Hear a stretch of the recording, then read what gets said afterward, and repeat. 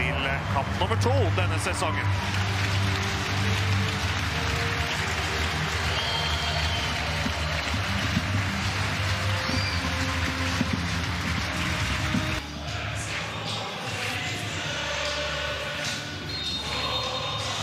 Der er vi i gang.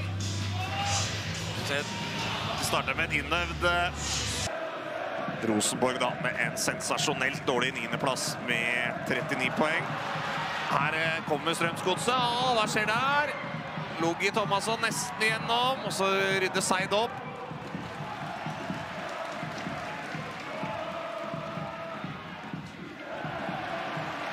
Forrige sesongs niendeplass var jo Rosenborgs svakeste på 40 år. Kun 1,3 poeng i snitt. Det er en fin ball fra Selnes til uh, Ulrik Jensen. Farji jobber bra hjem. Stengel og Krasniki. Det er bra. Logi Thomasson. Islendingen kommer fram, slår innlegget tidlig. Nemsik header unna. Så er det skuddforsøk. Greit forsøk det, i den situasjonen der, men får Ja, venstrefoten til Selnes. Vet vi er eh, presis. To armer i været. Svinger den inn i farlig område. Gjennom hele feltet. Henriksen plukker opp. Kapteinen svinger den inn. Farji får eh, ballen unna. Og så er det Reita. Nå endrer retning! En ordentlig suser fra Erlendal Reitan. Det var hardt, og det var retningsforandring. Så er det Fredriksen med fine finter. Rosenborg holder trykket inne. Nytt innlegg fra Selnes. Tar seg inn. Her ser vi Reitan sitt skudd, da. Med Vilsvik som eh, treffer den. Eh, heldigvis så går den jo da riktig.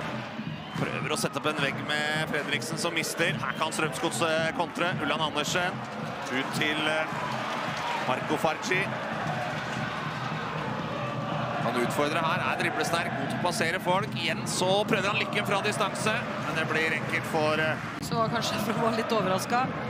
Ikke helt klar for å starte.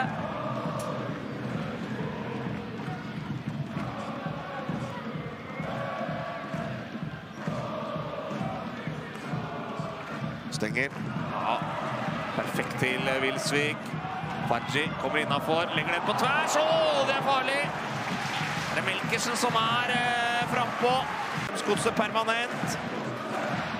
Se gode kombinasjoner her. God bevegelse av Faji. Får til å legge inn der, da. Det er eh, rett på hodet til eh, Melkersen, som eh, Ja, Her er det fire meter tett ved siden av hverandre, som er farlig i lufta begge to. Toye går i den første duellen, og der smeller det fra distanse, og det er jo nære. ser vi det er ofres eh, ja, i duellspillet der òg. Se der. Her kan det treffe Jeg tror faktisk ikke han er borti nå. Ja, det er bra å vente opp igjen av Emil Fredriksen. Hva kan han finne på her? Ser etter en skuddmulighet. Velger Markus Henriksen, som avslutter. Bråtveit i retur. Ja, ser ut som det skuddet kommer overraskende på Strømsgodset-keeperen. Selnes. Trykker på igjen nå, gjestene. Selnes med stikker mot Sunde. Kommet hele veien over fra venstrekanten. Der Selnes med venstrefoten skrur den inn i feltet. Og nå er Strømsgodset baktunge. Ja, og Selnes eh, dirigerer mye her. altså Han slår boksåpnerpasninger hele veien. Ulland Andersen.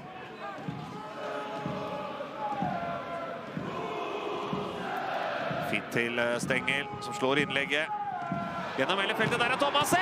Og så er det 1-0 til Strømsgodset! Og der får de den spillvendingen de har vært ute etter i hele ettermiddag. Hele veien over, fra høyre mot venstre. Så er det Logi Thomasson. Han skåret på Lerkendal mot eh, Rosenborg i fjor, og her gjør han der igjen. Det er en klasseavslutning på Emmer berøring, og hjemmelaget er i føringen.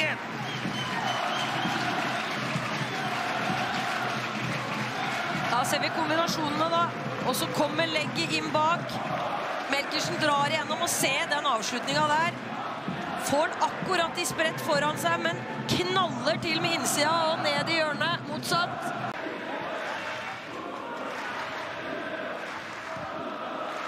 Det blir spennende å se om eh, Rosenborg kan eh, klare å skape noe her mot eh, veldig defensivt, solid strømskotselag som her fosser framover. Vilsvik.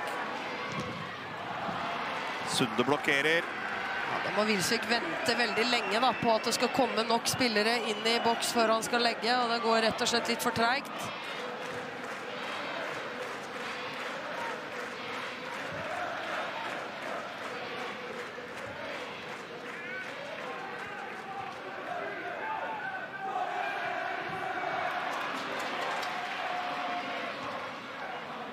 Vilsvik og Farji. Å, det er herlig finte igjen, Farji. En av de store artistene ute her. Får den inn i feltet. Seid får den fram til Sæther, som tar ned den elegant. Nypan har med seg Sunde, bruker han. Så blir eh, Nypan sparket ned, og der kommer det gule kortet til Vilsvik. Men spørsmålet er om han Edvard Tagseth, som jo startet første kamp. Men det var vel ett bytte til, da kom ikke Kornik inn her? Jo, Kornik for uh, Dahl Reitan.